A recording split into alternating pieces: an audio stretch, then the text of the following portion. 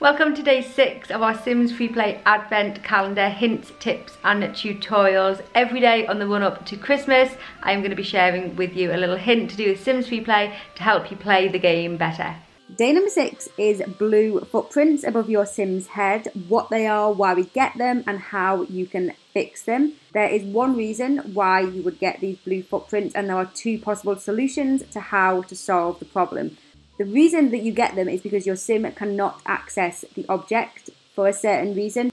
For example, these magazines, if we try and use them, we get the blue footprints above our sim's head and they won't go over.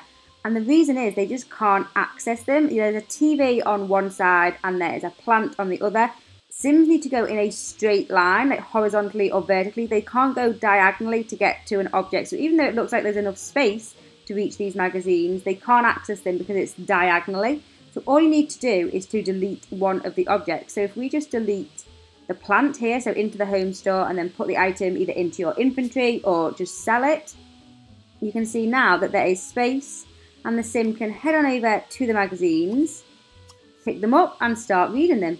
If for some reason you don't really know what is in the way, you're trying to interact with an object and you think, I can't understand why they can't get there, just play around with it. It'll just be trial and error with deleting different items until there is a path through for your Sims to get to that item.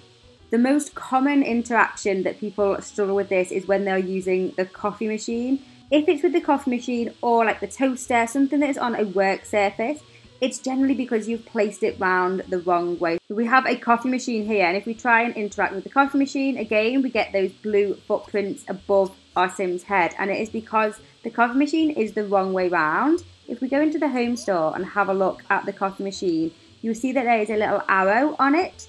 So if the coffee machine is either faced this way, this way, or this way, the sim can't access it. You have to have it so that the arrow is pointing out into a blank space where your sim can get to and then interact with the object. So if we place it round like that and then click on the coffee machine, we can see that our sim can then go and use it perfectly because the arrow was facing out into that space.